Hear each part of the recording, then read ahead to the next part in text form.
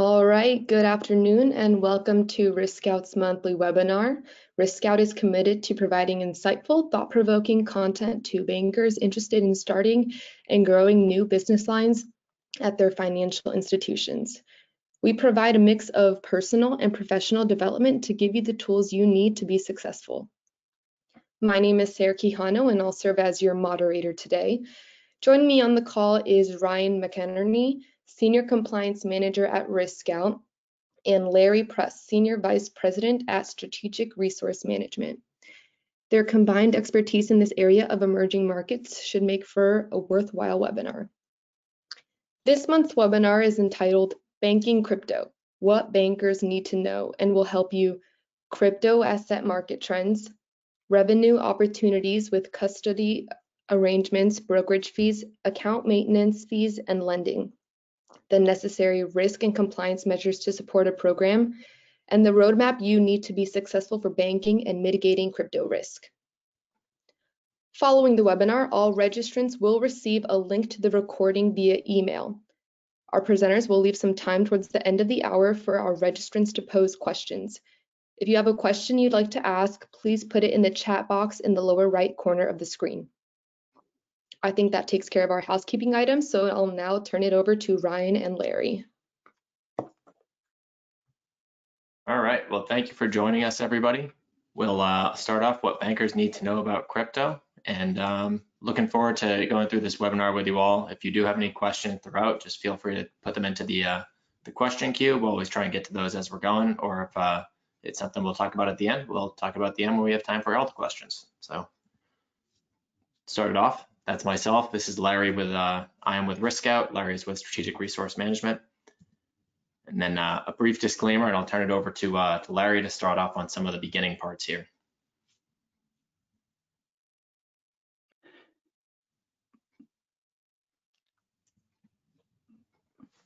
All right, so Ryan, thank you, and uh, appreciate everyone joining us today. We'll be talking about uh, cryptocurrency and digital assets. I'll use those terms interchangeably.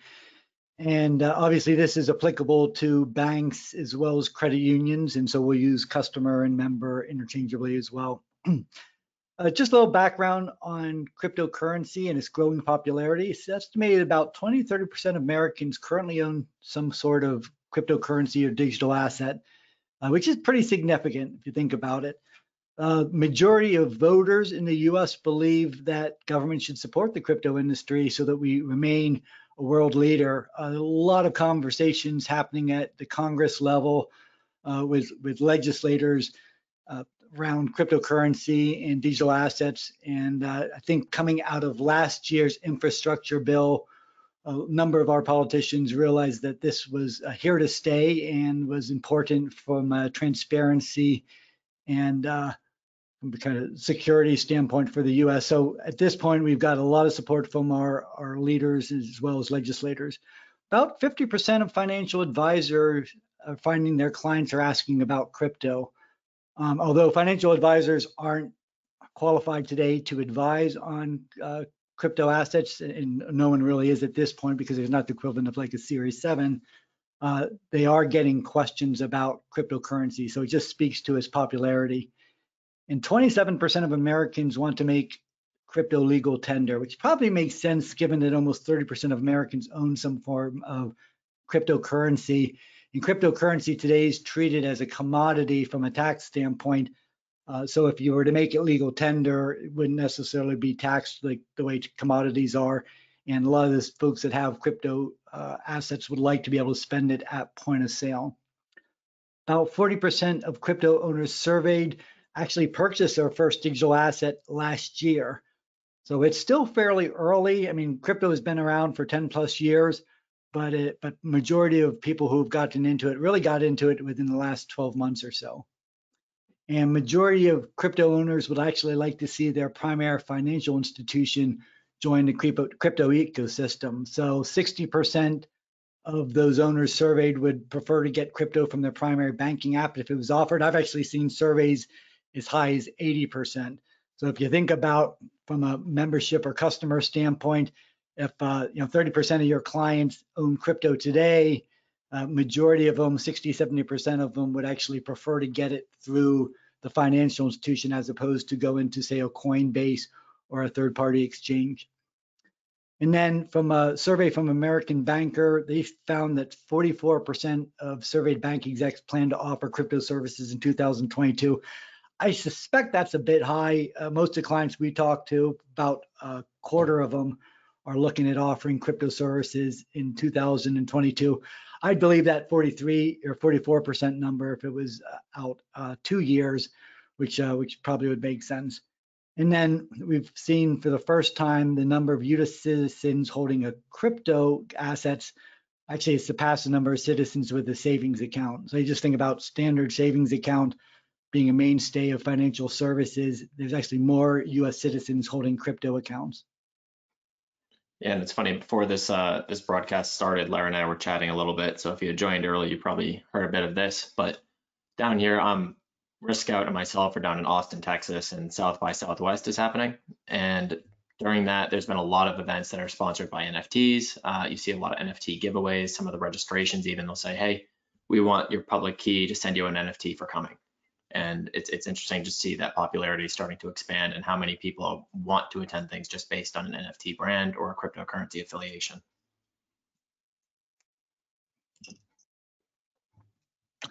So what is cryptocurrency? Well, it's really a, a digital asset used as a medium of exchange or store of value. Uh, it's probably served more as a store of value than a medium of exchange, but that is changing as we start to see uh, more retailers accept it at point of sale. In particular, online retailers are starting to accept uh, native crypto as a, as a way of, of paying for things. Ownership and transaction records are recorded on digital ledger called the blockchain, which is really just a, a distributed ledger. And then cryptocurrencies are becoming really popular, not only with kind of individuals, but institutional investors, sovereign wealth funds, and even countries. We saw El Salvador last year, uh, except Bitcoin as legal tender. So just a quick review, you can't talk about cryptocurrency without talking about what is blockchain.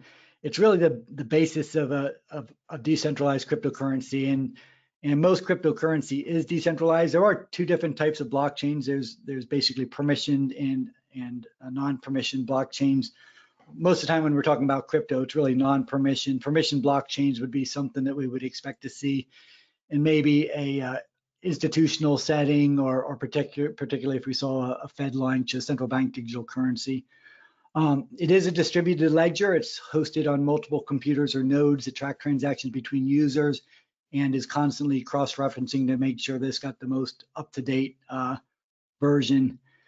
And then the way I think about blockchains, I kind of think about it in terms of trains on a train track. So if crypto were your trains, the train track would be that blockchain.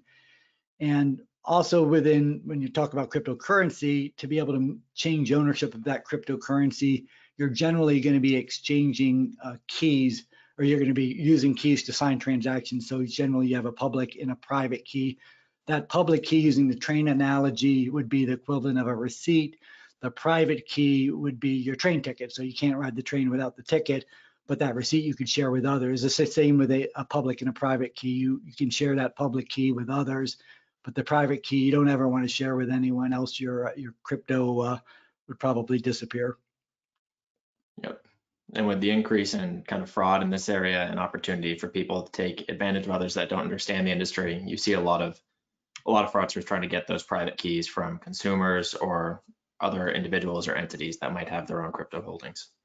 Yeah, Ryan, and what one other thing I'll add there is that you know early on there was a kind of saying in crypto, not not your keys, not your crypto.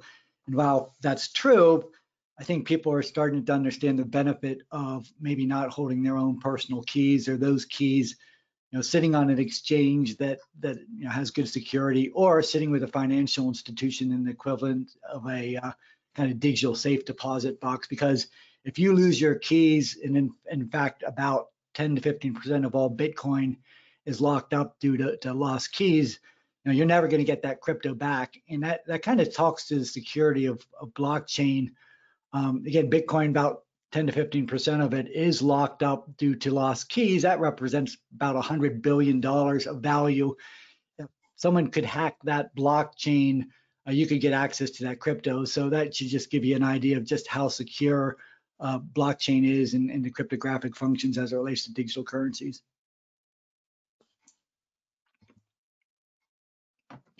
So what kind of digital assets are there? A number of different categories. I think most people, when they think about cryptocurrencies, think Bitcoin, which would be the coin, and everything else kind of as a digital token or an altcoin. Um, those digital tokens would inc- include things like Ethereum, Cardano, Solana, Dogecoin, um, and some of them represent pretty big chunk of, of uh, market cap. So Bitcoin is about 44% of market cap. Uh, I think Ethereum's probably about 30% as well, and then uh, and then the rest of them a little bit smaller. But Bitcoin and Ethereum are the two primary uh, cryptocurrencies out there. Then there's another category called stable coins, and this is essentially a cryptocurrency. It, it is it they do operate on the blockchain just like cryptocurrencies. It is a little bit different in that there's usually some underlying collateral bar, back backing it. So Bitcoin uh, doesn't have anything backing it as, as, as nor does the dollar for that matter. Dollar hasn't had anything backing it since uh, 1971 when we were taken off the gold standard. But stable coins are different. Stable coins do generally have something that backs them. And there's different types of stable coins, but most of the time when someone's talking about stable coins, they're talking about dollar backed stable coins. So basically you got one dollar of stable coins, you have one dollar of assets sitting at a, generally at a financial institution. And then those stable coins can be used to enact transactions. The nice thing about cryptocurrency in the blockchain is this open 24 7, 365. So as opposed to say banks or, or credit unions, you could uh, you could run transactions outside of kind of normal banking hours, and that's what stable coins are are, are being used, starting to be used for.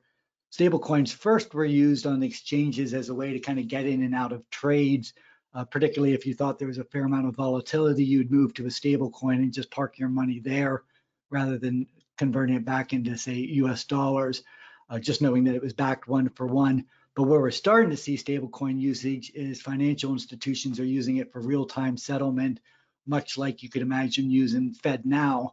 Uh, but we're also starting to see it being looked at by retailers in terms of is there a way to use stable coins or even native digital currencies to settle at point of sale.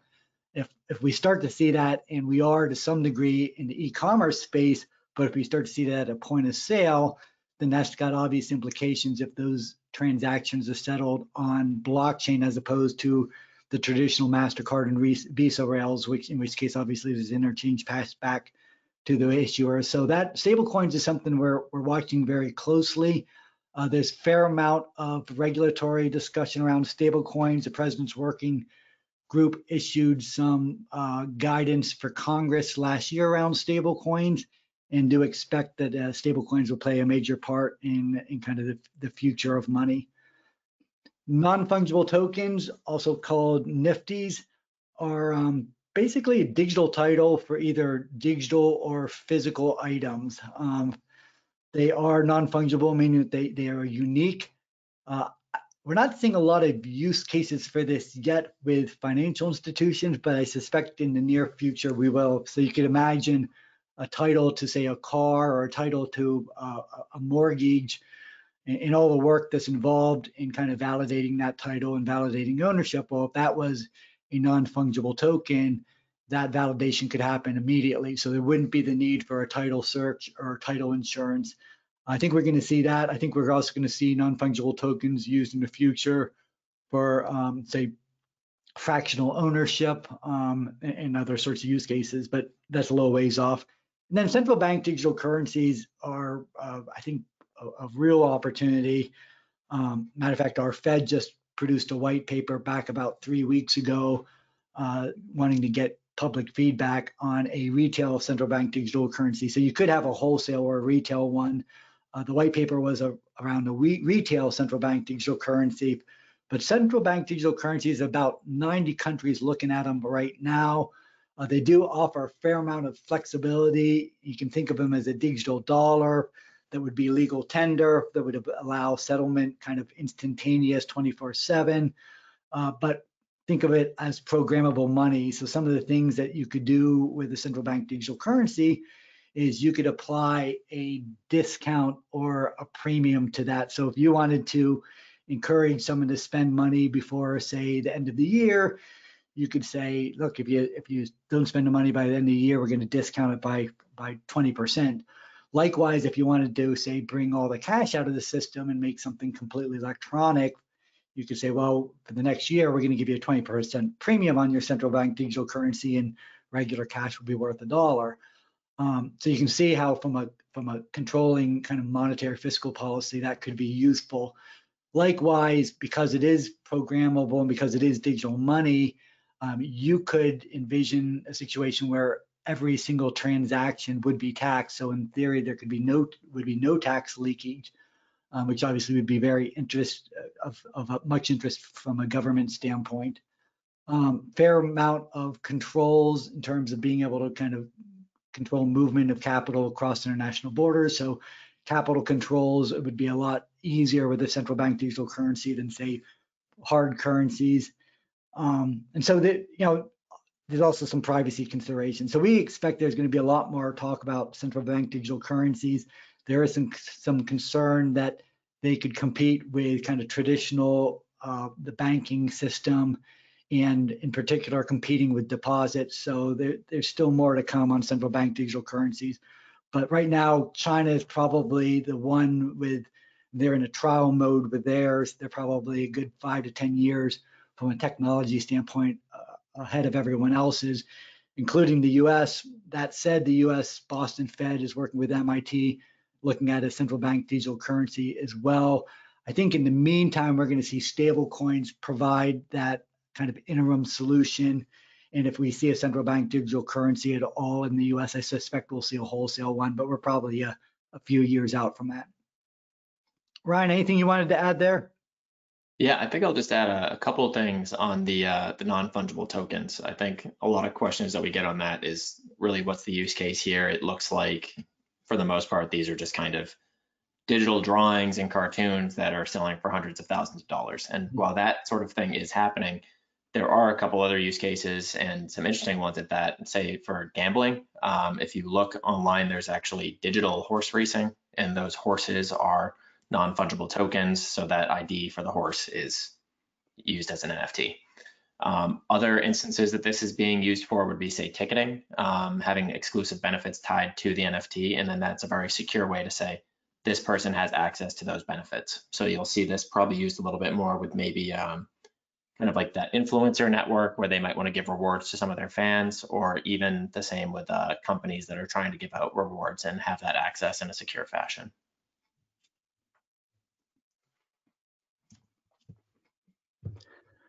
All right, so often you'll hear about cryptocurrency being volatile or volatile asset. That is true, um, but it's really a function of its of its asset size. So cryptocurrency right now is about a 2.6, 2.7 trillion dollar asset class.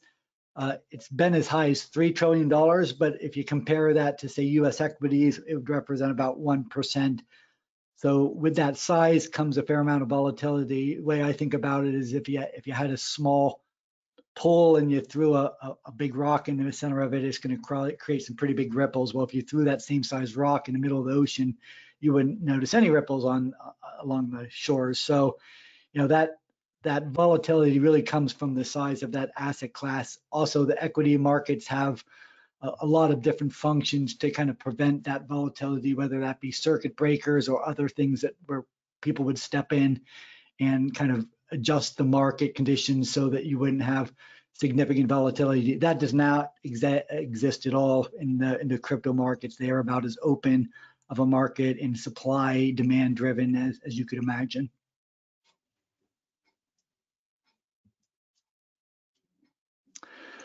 So different use cases. Why might your customers, members, clients be be utilizing, or how might they be utilizing cryptocurrency? Well, the the primary way they're utilizing it, is I think most people would agree, is is everyone's into cryptocurrency from a speculative standpoint. Um, I'm sharing some year to date or year over year returns there, and this this changes based on the day, but Bitcoin's been down year over year, but um, historically has provided about 200% annual returns, which beats any asset class out there by about a thousand percent. Uh, Ethereum year over year, 68%, uh, Binance 61, Solana 475. You compare that to equities right now, I think year over year, we're about even with most of them. I think the Russell 2000 is down about 6%. Uh, NASDAQ's maybe off 3% or something like that. So, so clearly, you know, there is an advantage from a speculative standpoint to be vested in cryptocurrencies. That said, there's no guarantee that that's going to continue in the future, but you can understand why people are drawn to it. The other kind of use cases that we see people drawn to cryptocurrencies around store value, and particularly with Bitcoin, because again, it is limited, hard capped at 21 million Bitcoin. Um, it is, it does have a mining function that, you know, supply is coming online a little bit, you know, more every year, but it's at a decreasing rate and eventually we'll hit a hard cap of 21 million. About 18 million have already been has already been minted. Uh, Bitcoin is decentralized, um, censorship resistant, meaning that you really can't have governments that will prevent you permit, prevent you from using it.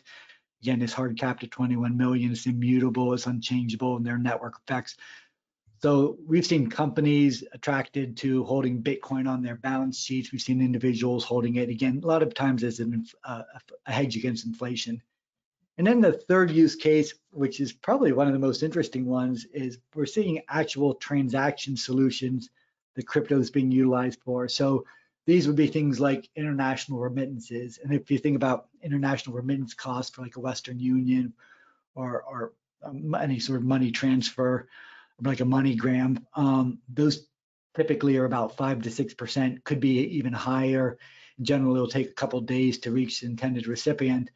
Now, with crypto, you can send it instantaneously, sometimes for as low as pennies on the dollar. Um, we're also seeing it used for real-time settlement. As I mentioned before, we're starting to see that with stable coins and other cryptocurrencies. We're starting to see it used for payment, whether it's online or point of sale or just individual P2P uh, payment solutions. And then we're also seeing decentralized finance solutions. And decentralized finance is basically crypto or banking like solutions completely outside of the banking sec sector. So instead of having an in, a third party intermediary in the middle to kind of facilitate those transactions, we're using we're seeing software being used to do all sorts of you know traditional finance like lending, borrowing, trading, insurance, synthetics, derivatives, and others. And I think an interesting point you made, Larry, is on the uh, the store of value side when we talk about blockchain being immutable, and so the basically the record of that chain can't be changed. Um, but then people will say, okay, well, if we have this kind of backdated record that shows transactions with everybody, why is it we can't identify certain transaction recipients? And we say that cryptocurrency can be used to kind of obscure uh, obscure, obscure ownership. And the reason for that is that immutable record is of those keys we talked about before with the wallets transacting with one another. And so if you have an exchange that isn't sharing the wallet holder information, then that's how you get an obscured identity. And we actually had a meeting with the uh, the FBI. They were presenting at one of the um, certified financial crime specialists uh, events a couple weeks ago, and they were talking about how they're actually sanctioning some of these exchanges in some different countries that aren't providing that wallet information because it's making it difficult to track maybe the ownership of that specific uh, transaction and entity. So I think that's pretty interesting.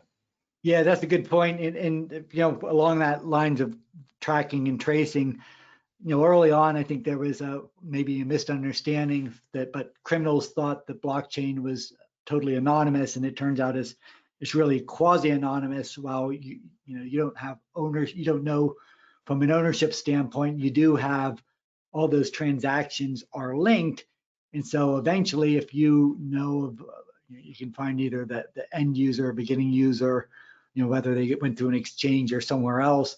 You can then start to trace all those transactions, and they're finding that actually it's fairly easy to trace movement of cryptocurrency on those blockchains. And there are companies out there like Cypher, CipherTrace and Chainalytics that do that for all of the government three-letter agencies. So crime has fallen from probably early on in the days of crypto where illicit transactions might have been 20% of the transactions.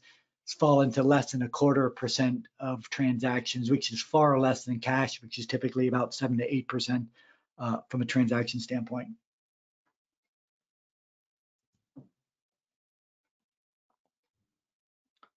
All right, so moving into uh, adoption and some of those use cases that you might actually be able to have this uh, functionally used at your financial institution. Yes, so uh, first one would be decentralized finance. This is both risk and opportunity. I've got a picture of a taxi there. Everyone's familiar with the, the Uber story and what happened to the taxi industry. Taxi industry was highly regulated with uh, high barriers to entry, whether that be you had to have a, a fleet of taxis, you had a dispatch center, you had to have $100,000 taxi medallions. A taxi industry assumed they would never be able to be disintermediated. Well, came along a little company called Uber that did not consider itself a taxi industry, did not have any taxi fleet, and decided to connect people who had cars to drive with people who had riding needs uh, using software. And that same sort of peer-to-peer activity is starting to disrupt the financial system and that's decentralized finance. So it's open, transmiss, uh, transparent, permissionless, trustless, decentralized, has composability, basically mean you can kind of use it like financial Lego and build upon each other. But these DeFi applications a growing list include borrowing, lending, trading, payments, insurance. What I'll, I always give the example of, I can do the equivalent of a, a certificate of deposit today with three clicks of my cell phone the privacy of my own home without any requirements around know your customer, where the money come from, anything along those lines. And I can do it with any amount of money and earn a yield of say, you know, and it depends based on supply and demand, but earn a yield of anywhere from say three to six percent. You can kind of compare that to a certificate of deposit, which is going to require going down to your local local branch, maybe explaining where the money you're going to put in the certificate deposit came from, um, you're going to have to go through some disclosures of paperwork, and ultimately you're going to sign up for a CD that's going to probably have an early termination fee and is going to pay you a quarter percent interest rate. So that's what financial institutions are up against. They're up against these decentralized finance apps that offer, again, traditional lending, borrowing, uh, trading, payments, insurance type solutions, but without any third party intermediary. And because there's no third party intermediary in the middle with all the associated costs, both ends of that trade get better pricing. And we've seen really significant growth over the past year. Uh, DeFi grew up to about about $100 billion from almost zero in the course of a year. It's come down a bit now, but if you kind of extrapolate that out, we could see it at, at some point in time where you know it's a it's a trillion dollars or two trillion dollars locked up in decentralized finance, and those are applications directly competing with traditional finance. Now, the good news is, is we're talking with a number of clients about, well, is there a way to use that efficiency of decentralized finance and kind of those smart apps to provide better yield solutions for your clients that they might not be able to get on their own. And that's exactly what's what's what we're looking at doing. And in fact, what you could do is you could say if you wanted to put, you know, be able to provide, say, lending yield, you could probably get six, seven percent yield on it. You could insure that protocol, whether it's like with a compound or Aave for probably 200 basis points, so you've got 500 basis points yield left over. You could pass on one or two percent to your clients and then take the rest as a spread for yourself. So you know th those are better yields than you could get with probably just about anything else. And so there are opportunities to use that efficiency of DeFi um, to the benefit of the financial institution. And, and, that's you know an interesting use case. Um, just also talk about adoption real quick. Uh, you know, crypto adoption is very much on par with the internet. Uh, if you kind of put it on a similar sort of timeline, if you think back 20 years, what the internet was like and how complicated it was and how little usage there was, and now where it is today, where we've got billions of users internet is very easy to use. We're seeing the same sort of thing happen with cryptocurrency adoption. It's becoming easier to use over time, and the number of users is increasing pretty significantly. I think uh, right now it's about 350, 370 million users worldwide, but you know, in a couple years from now, it could easily be a, a billion users worldwide. An interesting uh, conversation that Larry and I were having when we were kind of prepping these slides for you all was when you look at just the general maturity of a market typically takes around 30 or so years. So when we look at cryptocurrency now, and it's been around 10 to 15 years for the most part, um, people think, wow, the value is really high. This has kind of skyrocketed. It's probably, I feel like it's too late for me to get in. Well, we're probably nowhere near the peak of this yet. So I wouldn't say that it's anywhere close to maturity. Yeah, I, I would agree with that. And, and same with the clients that we're working with. We always tell them it's, this is still very early on. In fact, there's a lot of um, early adopter advantages kind of being the first in market with some of these things. This is an interesting slide. This is actually from Visa, and they surveyed a thousand household decision makers, and what they found was that you know majority of people were certainly aware of cryptocurrency. So there's definitely that awareness in the marketplace. Uh, their survey found 33% own crypto. That's a little bit higher than what we typically see on surveys, but still just gives you an idea of, of how popular it is. But 84% of the surveyed folks were actually invest, interested in crypto rewards, which makes a lot of sense because you think about rewards these days. Airline points certainly aren't as popular given the pandemic. Uh, cash back, which is very popular. I mean, just given inflation rate, if I get $10 of cashback today, you know, a year from now, that's gonna be worth $9. You give me $10 of crypto, uh, you know, by the Bitcoin or something else, a year from now, that could be worth $100. It's kind of like giving your clients a lottery ticket. So there's a lot of interest in crypto rewards. Um, likewise, because there are 30% folks that have crypto, a lot of people are interested in crypto link cards. And what we're typically seeing are crypto link debit cards. So your debit card basically would link to a crypto wallet that would allow you to use those digital assets at point of sale. They get typically converted at point of sale to cash for the merchants because the merchants don't want to necessarily deal with crypto and that volatility. That said, I do know some merchants that are starting to take, say, half of those crypto payments and they're starting to keep half of it in crypto and convert half of it to, to USD. So the thought there is, is they're starting to look at that either as you know something they want to do from a treasury management standpoint or balance sheet standpoint. That's very interesting because it, it, it is native crypto that they're taking. Uh, but I mentioned before, I think we're going to see stable coins, which again will be native crypto, start to, to sneak into the payment system. And, and every merchant in the world, because of their merchant costs, are certainly looking at that. But the crypto link uh, cards is a way of allowing people to use that crypto at point of sale today, running through the traditional Visa and MasterCard networks because it settles that way and uh, still get that interchange passed through to uh, to the issuer. And then how many would be likely to switch banks based on crypto services? So this case was 18%. Now keep in mind that's kind of a randomly selected group of, of household folks. Um, if you actually look at people who own crypto, you would see that generally 60, 70, 80% of them would actually change financial institutions if one offered crypto services. And that goes back to those cryptographic keys if you lose access to the cryptographic keys, you lose access to your crypto. So people are starting to realize that from a safety standpoint, it might be better to have those keys held at your trusted financial institution. Likewise, for people who aren't as familiar with the crypto market, that doesn't know what you know Kraken is or Binance, they may not be comfortable giving them kind of the standard client information that you would need to to go through the standard know your customer transactions that, oh, but they would be comfortable giving that to their trusted financial um, institution. So the opportunity there is to allow, you know, to take, custody and allow your clients to trade uh, crypto instead of having to, to go to an exchange and as a result capture that fee revenue.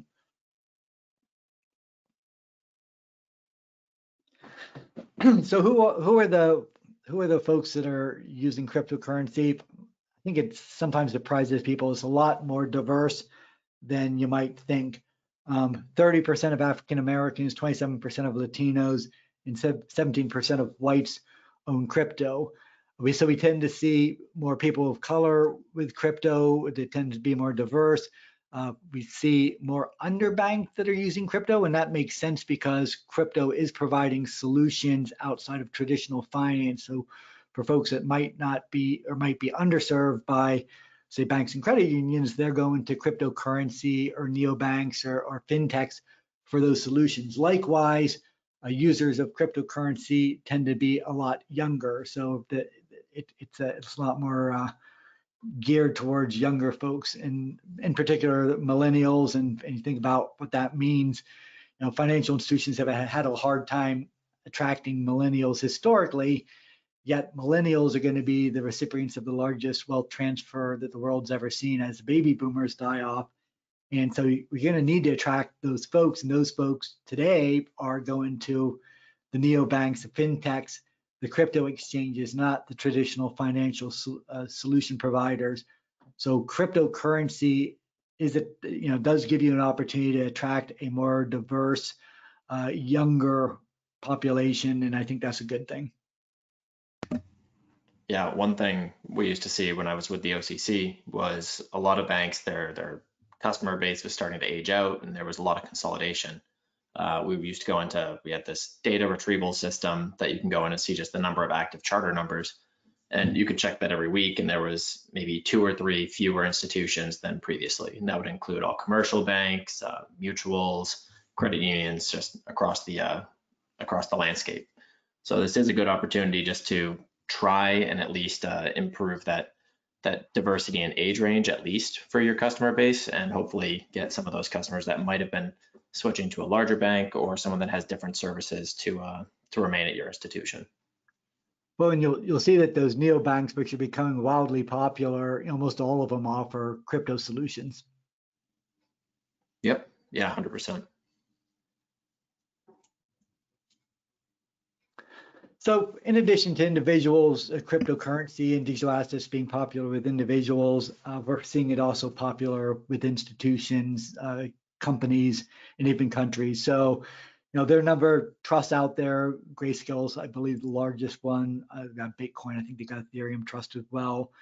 Uh, those are EF, ETFs.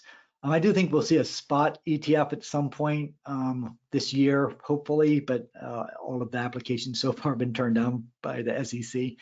Uh, we've seen countries adopt crypto or a country, and that would be El Salvador, I think primarily because of the international remittance component. A lot of their citizens are sending money back to El Salvador and be able to do that through uh, Bitcoin and some of the kind of second layer solutions. Uh, it's, a, it's, an inexpensive way to send money a number of other countries, Panama, Paraguay, Brazil, Mexico, Argentina, are looking at similar sort of solutions. Again, I think primarily because of that international remittance component. Then we've seen a number of public companies, uh, Tesla, MicroStrategies probably being the most two famous ones, but there are about probably 50 to 60 American public companies that are actually holding crypto on their balance sheets. And, and, and so you know, that always surprises folks a number of private companies as well, uh, Mass Mutual, uh, KPMG, which I think is a public company. Uh, they're an accounting firm. Uh, their Canadian version of KPMG uh, recently brought Bitcoin and some Ethereum onto their balance sheets, and I think they also purchased a uh, an NFT as a way to just kind of better understand that market, because certainly there are a number of changes around accounting regulations that are that are going to be coming as well. Yeah, it was funny. I think uh, there's a lot more companies that that actually hold crypto than people expect, and some are even mining it. I remember there was uh, there was one bank that we had gone to, and we're doing the IT review, and they're like, we go down to the uh, the server room, and there's just a mining rig set up in the corner. We're like, what what's going on there? They're like, oh, we just want to better understand cryptocurrency, so we decided to mine it. Like, That's okay. awesome. Yeah.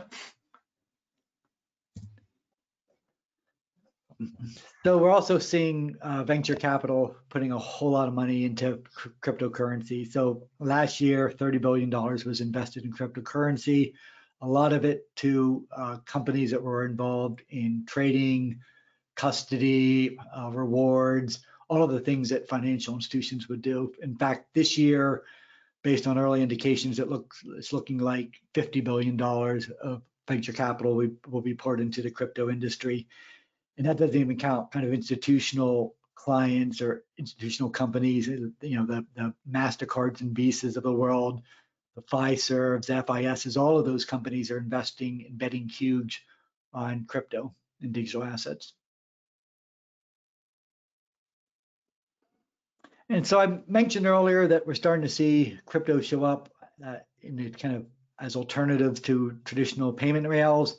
Uh, I think it's you know kind of surprising sometimes for folks to realize that Bitcoin last year had more settlement volume than Visa. So Visa settled about 11 trillion, 12 trillion in 2022. Uh, Bitcoin settled 13 trillion. Now it's not an apples to apples comparison. They're very different sorts of things. But I mentioned stablecoins earlier. Stablecoins are starting to sneak into retail settlement, or certainly merchants are looking at that. And uh, stablecoin settled about six trillion in value last year, which was about half of what Visa did. Um, those kind of tokens, coins on the left would be some examples of stable coins. Some of these other companies on here are ones that have um, e-commerce solutions where either you know the, the, the merchant will accept most of the time they're getting converted into cash. Some of it will accept it in native uh, crypto. Flexa is a really interesting company. It's worth looking up. They're taking um, at point of sale and they're using an app connecting it to kind of your your uh, digital like a, a, a uh, crypto wallet and allowing you to use that crypto at point of sale and they, they will convert it into US dollars, but they're doing it and providing instant settlement, uh, which is interesting because uh, people who know crypto know that some of the crypto doesn't settle all that fast. And what they're doing is they're kind of taking that settlement risk for, for a price, but still at a, a much lower cost than settling, say, over traditional rails of MasterCard and Visa. We're going to see more of this. Um, I know Walmart, I think, invested in looking into building out a stable coin. Uh, PayPal is, I think someone realized that PayPal was working on a stable coin solution. And we're seeing uh, traditional banks and credit unions start to look at uh, pay or uh, stable coins as, as settlement solutions as well. Some of that for kind of interbank, intrabank settlement, but some of it uh, potentially for consumer settlement.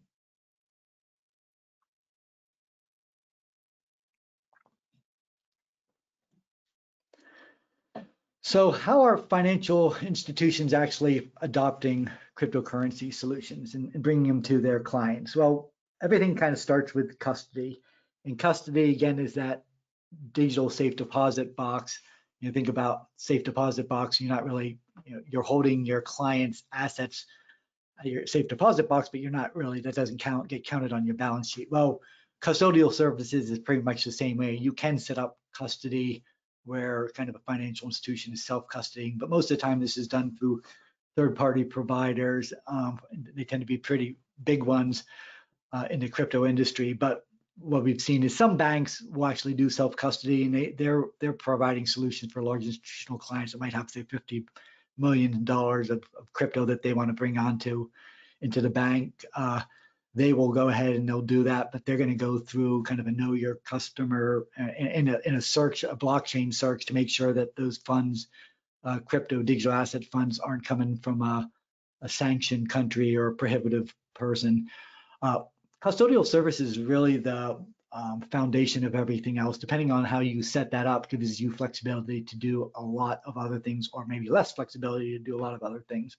Um, most of the entry points at least initially, is for financial institutions has been around crypto trading. So what they're trying to do is capture back some of that volume that's headed out to the exchanges and allow that volume or that trading to happen um, at the bank or credit union. And, and, the way that's being implemented is generally through your mobile banking provider. There's a number of, of early solution providers that have kind of integrated well with these digital banking providers. There are a lot of other ones that are looking to integrate through that digital banking provider, but that would mean basically your your digital banking app that would show your clients, uh, say checking account and savings account information. You could also show basically a digital asset balance and allow you to buy and sell crypto. Um, some of the early providers only did Bitcoin only. Um, some of the better solutions out there offered, you know, maybe Bitcoin, Ethereum, or, or even more than that. A good use case to look at would be Vast Bank. They're out of Oklahoma. When they launched, I think they launched with uh, about a uh, half a dozen trading pairs are ultimately up to I think a dozen uh, cryptocurrencies that their clients can can leverage. And they were an early adopter uh, last year, about mid-year they launched. I believe I think it was a couple about eight weeks after launching, they increased their client by client base by 25%. And I think 80 weeks post launch, they've actually increased their client base uh, fivefold. So, you know, it, it, pays to be an early adopter in this space. Uh, as mentioned before, rewards programs are very popular. So, you know, adding crypto rewards can be a good way to uh, kind of reinvigorate uh, checking or, or debit uh, card offering. And some other uh, solutions. One solution I didn't put on here, I'm just going to mention real quick, is yield. So depending on how custody is set up or depending on the third party provider that you would work with, there are also yield opportunities. So those yield opportunities could be the DeFi that we talked about earlier. They could be staking, which is kind of a way of securing the blockchain outside of proof of work, it's called, called proof of stake. But there are ways to generate yield by staking uh, basically digital assets with a provider. Um, those are some very interesting use cases to provide yield higher than you could uh, provide your clients today. Um, lending is a, another one of those use cases, and this is twofold. This is lending uh, to your clients that might have existing digital assets using those digital assets as collateral. So it's usually an over collateralized loan and is set up much like a, you know, um, kind of like if you were going to lend uh, to, you know, against equities where, you know, if the equity moved enough, or in this case, your crypto assets decreased enough in value, it would be like a call on that loan and you'd liquidate those, those holdings. So it does put some risk to the client, doesn't put any risk on the financial institution because again, it's an over collateralized loan.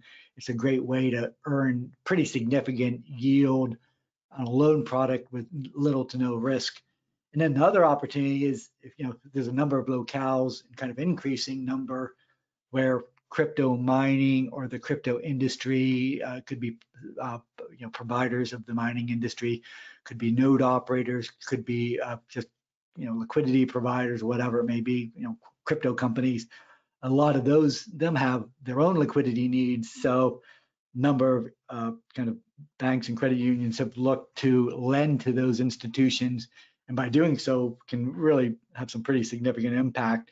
Uh, Silvergate was a good example, Southern California uh, bank. And when they launched uh, lending to the crypto industry, they grew their asset base by over $10 billion overnight. Um, mentioned earlier, stable coins per president's working group uh, recommendations, they're going to recommend that uh, the money that stable coins are kind of collateralized with have to be held at financially insured institution uh, I believe that those, that underlying collateral will be able to be relent out much much like a standard deposit, and so will just be another source of funding for financial institutions. So a number of financial institutions are starting to get involved in that. They're also using it for again interbank settlement, and then blockchain crypto technology.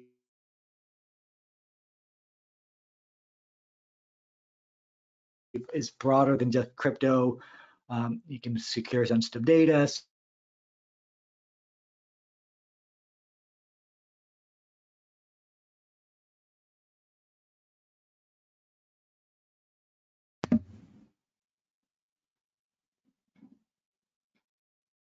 Not sure if uh, Larry cut out for everyone or just me, but uh, head over to the next slide. Hopefully, uh, hopefully y'all can hear him. So moving from the uh, the actual exposure to a lot of those different fields, just understanding the burden as a financial institution for trying to engage some of these areas. So if we're talking about custodial services, as we mentioned before, uh, the revenue opportunity there is probably the lowest of these, but it's also going to be one of the easiest areas to enter. Particularly if you don't have that subject matter expertise on your team yet, this is a good way to start to learn and start to uh, better expose yourself to enter maybe into the trading area or to the lending areas. When we look at trading, the revenue opportunity is probably in the mid range. Um, and that's typically based on per transaction charges. So some of those could be relatively high, some of them could be uh, relatively standard. But so for example, some we've seen that from 150 basis points to 300 basis points just per transaction. Uh, so that can be a good source of revenue if you have the infrastructure to support it. But that is typically where the, the challenge starts to come in is on actually having the infrastructure to implement a trading platform or trading ability. And then on the lending side, revenue opportunity here is really middle to high in terms of the uh, the distribution. And a lot of that's just going to be on the net interest margin spread that you're going to gain. And you could get a lot of deposits from these customers you might be lending to. So that's one benefit as well. And this could also be for not only, as Larry mentioned, off of the asset, but it could be lending off of uh, or lending to industry kind of agnostic participants. So maybe someone that's manufacturing machinery, someone that's developing software, a point where you're not actually lending to the cryptocurrency itself or on the cryptocurrency itself, but somebody that has exposure to the industry. And the risk there is typically a bit lower because most financial institutions already have some sort of exposure to the lending environment.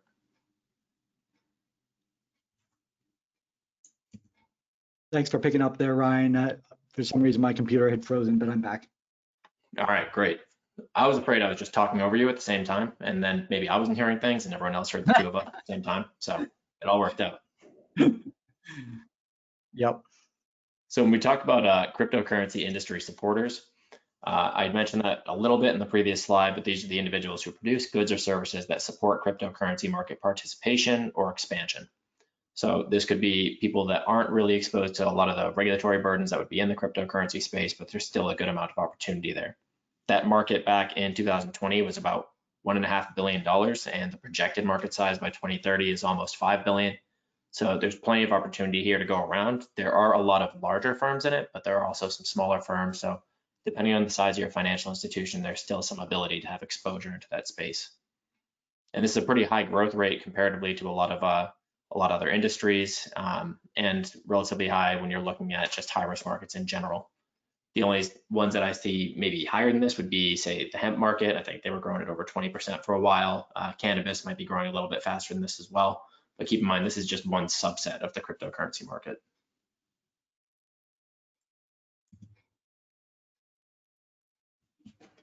Now, when we're talking about actually building your program, the important thing is building that expertise.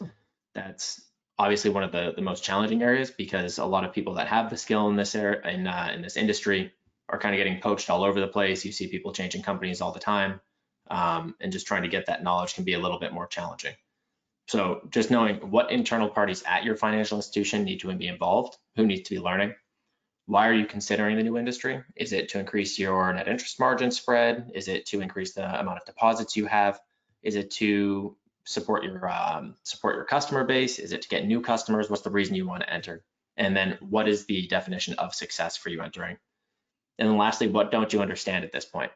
And if you can identify what you don't know, then you can start to interview people, say myself, regulators, other parties, to try and answer those questions, make sure you have the information you need.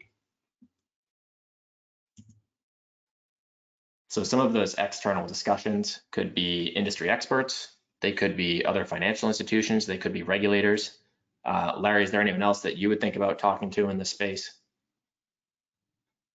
Um, you know, there's there's there's a lot of good information that's out there on the internet. There's also a lot of bad information.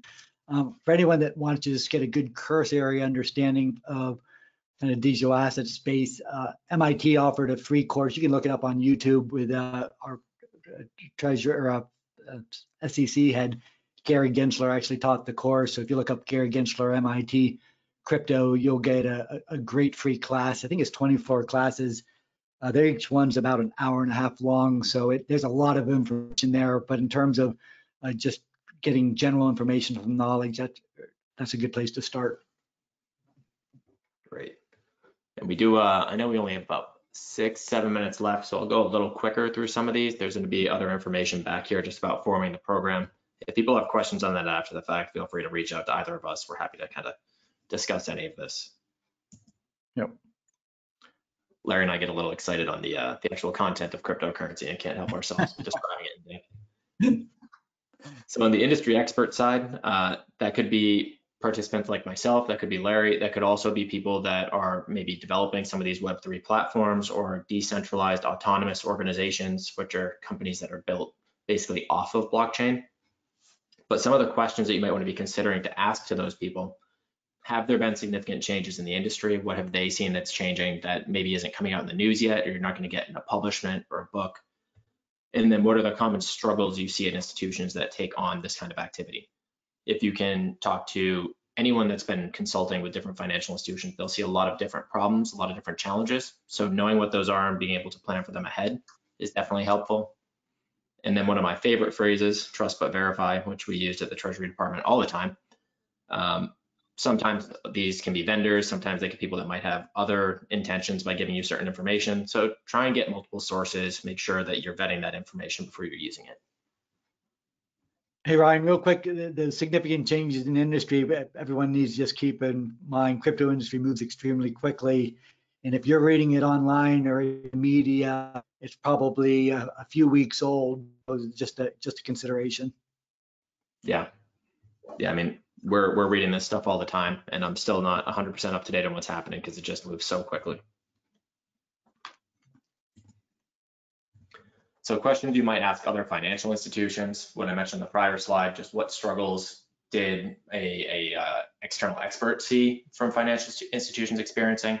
Ask that same question to the, uh, the FI. What struggles did you have in actually standing up your program? A lot of times I think that'll be staffing, sometimes it might be technological, sometimes it might be a combination of the two. Second question are what are the staffing requirements like? And if they are giving you some sort of number for the staffing requirements, make sure you're also checking what sort of third party providers they're using or what other tools they might be using that support their staff. Typically, there can be a good balance between, say, a third party tool and the actual staffing at the financial institution.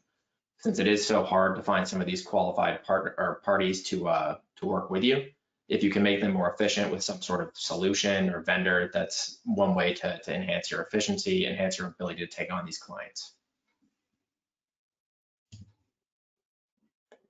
Now, on the regulatory side, I might be a little bit biased because I used to be a regulator, but uh, I think there are a lot of good, valuable insights you can get by talking to your regulator, particularly identifying a plan and then providing it to them to give you some feedback on. Typically, you're not going to get just blanket information if you say, hey, um, I'm thinking about doing this. Is that okay? What you will get good information on is this is our plan for doing it. Do you see any issues with what our plan is?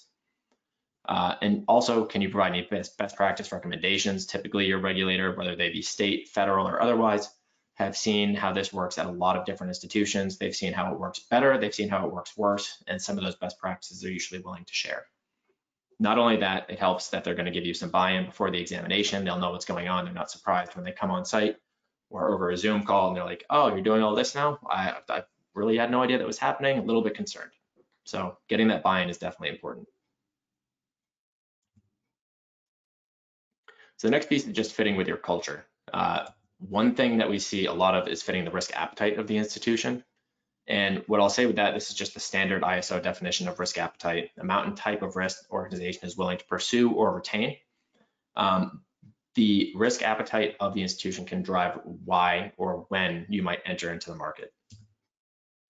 And what I mean by that is when we look at what goes into risk appetite, the culture, the mission, maybe your board members, your strategy, even the mission and vision can be a good reason to enter because it might be you want to support support your your support your community, support the people that actually bank at your institution or use your institution. Uh, so one example of that would be if we look at this mission statement, meet and exceed the needs of community of somewhere bank through superior customer service by offering necessary access to financial system resources well, that could be a good reason to enter the cryptocurrency market because you want to provide access to those financial system resources that otherwise some of your client base might not otherwise be able to get to. So the first question is, what can we do now? How can we already provide that sort of access? And then going forward, what's the roadmap for us to be able to do more and how can we do it?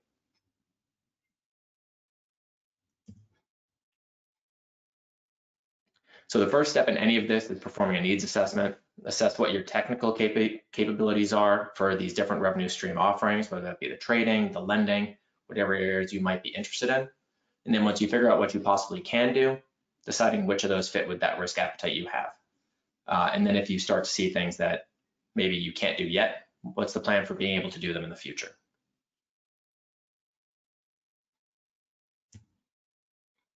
Now, one one slide I've really loved, and I'm, I wanted to get to this one, is uh, during the pandemic, I had never actually cut up a pineapple. So I did that for the first time and started to learn that there's a lot of pieces that I don't want to eat in a pineapple. That's going to be the same way when you're looking at any of these revenue streams.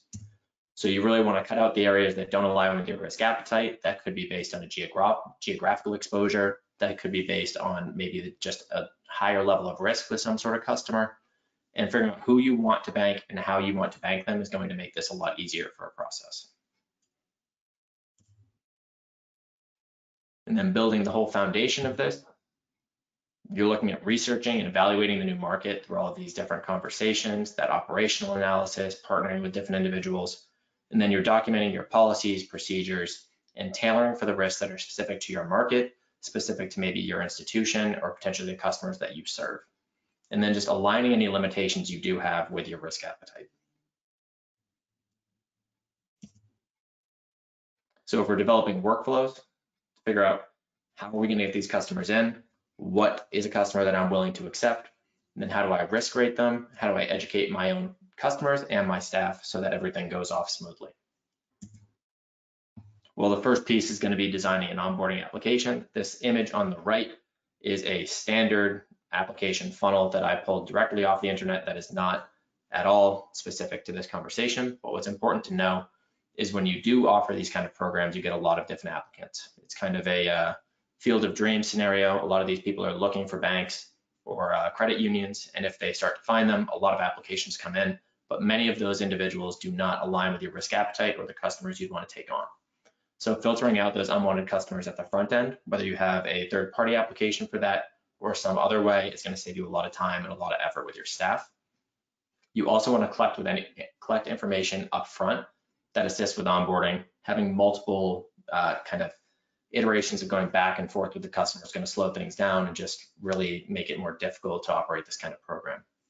Then lastly, make sure whoever's working on the applications is well trained, understands what is a criteria for getting rid of or getting a application out of the queue and what's a criteria for moving it on. So this is just a quick kind of account approval process that I drafted up for, uh, for an example. So if we have multiple divisions in a financial institution working together a little bit more closely when you're working with these higher risk industries, particularly like cryptocurrency or uh, say if you were into some sort of other high risk market. And that app application coming from a prospect is usually going to come from your business development area. Well, going from business development, you might send it to treasury management because it's a cash intensive type account.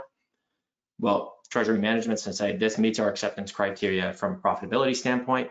Maybe I'll send it to compliance. Then compliance starts to vet things from a licensing aspect, just from a relative risk aspect, and you decline or approve and then send it back to the treasury management area. Have an account officer that's engaging with the customer there, making sure that you're getting that information on an ongoing basis. Uh, you have an established review cadence with that account officer to review the customer. So this is just one hypothetical version. This could be more complicated. It could be less complicated. Uh, it's going to work based on how your institution is actually set up and what resources you have. Larry, any comments on the, uh, I guess, kind of that individual workflow? No, that, that makes a lot of sense. All right. Want to make sure I'm not cutting you off over here. So when we're talking about internally risk rating clients, that could mean a lot of different things. Um, typically, it's going to be developed off of your own internal risk rating criteria, and that criteria could be specific to the type of customer you're taking on or the type of industry that you're serving, even within cryptocurrency. A lot of things that you might be thinking could be geography, it could be the industry itself, it could be the size of the company, could be the age. Uh, for example, if we were looking at miners, if you have a single entity mining solution that's using one kind of computer, that's going to have one risk versus if you have a pooled mining arrangement where those funds are being distributed to a lot of different computing players throughout uh, maybe the US or geographically across the world. Now, measure the cost to maintain that account and make sure that's informing the actual pricing decision. I can't describe how many times I've seen someone charging what appears to be a decent amount for a service, and really they're losing money because of the amount of time and effort software and staff are taking on the back end. And then lastly, using those ratings to inform your ongoing due diligence plans. If a customer is a higher risk level or needs more, uh, a higher level of touch point, try and have that risk rating identify that. So you can say all my four level risk rates have uh, semi-annual reviews. All my level threes are annual. All my level twos are uh, biannually, whatever it might be. Now, another piece that's important is educating the involved parties on those ongoing requirements. And so that's not only going to be the customer, but that's going to be your financial institution staff as well. You really want to set the monitoring and information collection expectations with the customer at account opening they are probably not used to having this higher level of engagement with the financial institution. Uh, if I got my one to four family mortgage and said, hey, you need to send me your tax returns biannually to uh, to the bank so we can verify that you're the person you said you are and you still make the same amount of money, I'd be a little confused. And it's kind of the same thing when you have these companies that might have been a business prior, different industry, they're not used to having that same level of engagement with a financial institution. So letting them know that is definitely helpful. You also want to inform the assigned account officer of what those ongoing requirements are and determine a good strategy for them to coordinate with compliance. I think that's one of the more challenging pieces in this is when you start to loop compliance into just the ongoing management. Uh, it's it's a new space for them to be in. A lot of times compliance, maybe Bank Secrecy Act staff, anti-money laundering staff are on the back end. They're not used to that as much. They're typically routing things through either treasury management or another part of the financial institution. And lastly, involving any branches that would be involved with the customer, uh, particularly if there's a cash intake element to it.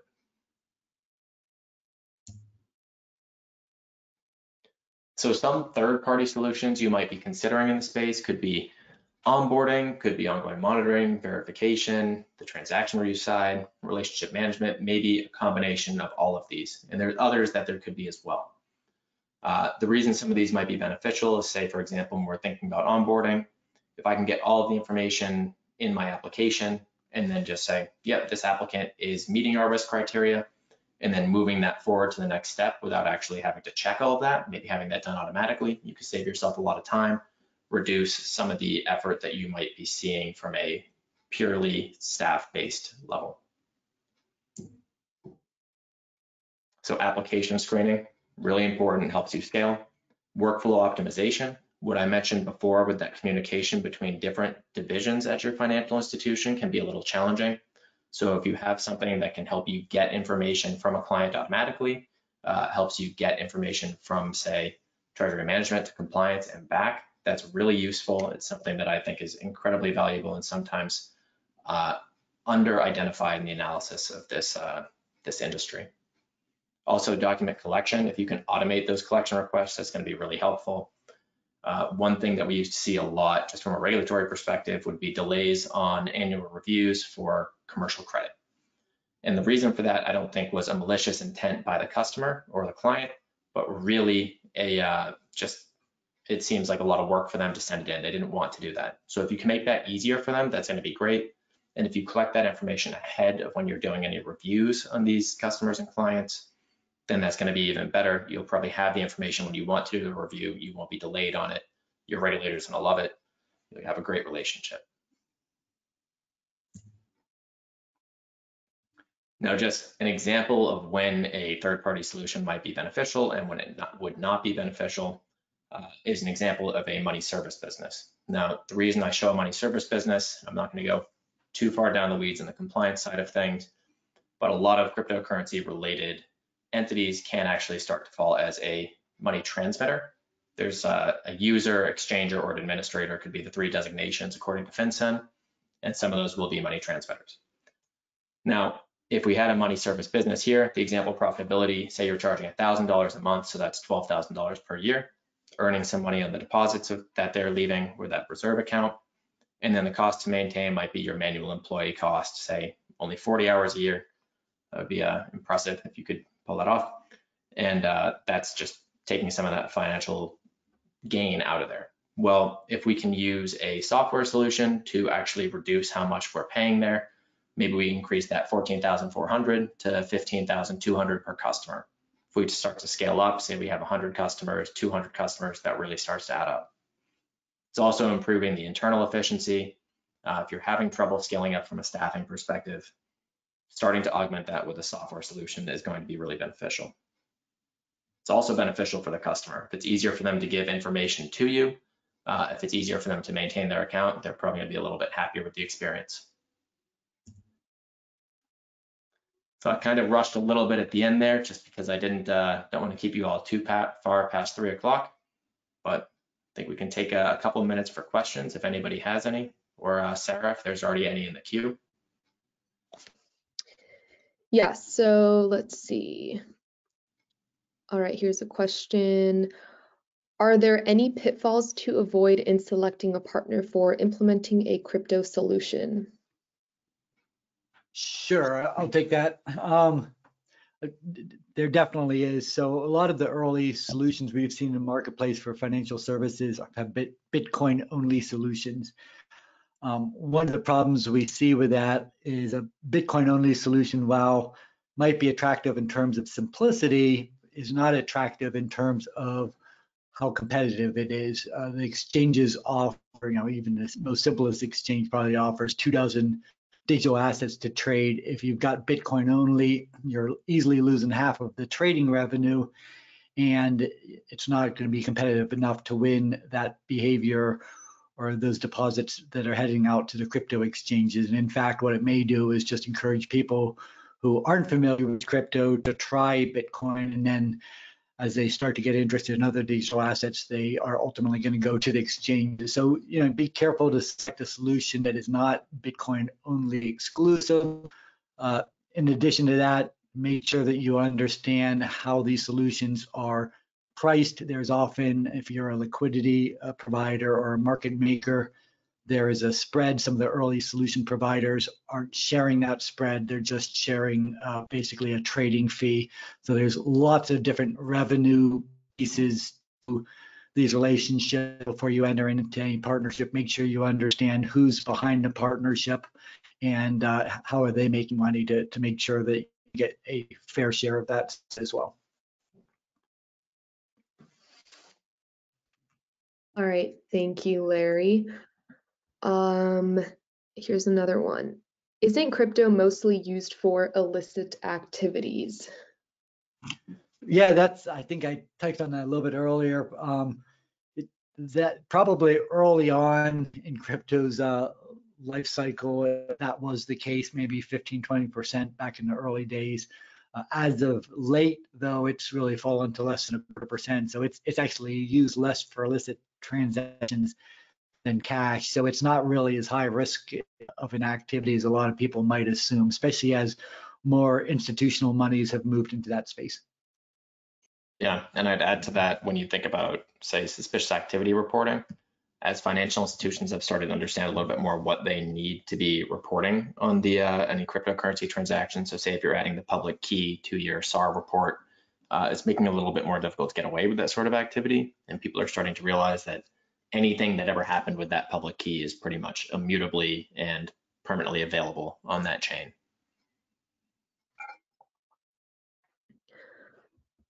All right, uh, thank you, Ryan and Larry. I think we went a bit over time, but as a reminder, all registrants will receive a link to the recording via email. And we'd like to thank you for joining us today, and we hope you'll join us on a future webinar. Enjoy the rest of your day, and thank you. Thank you.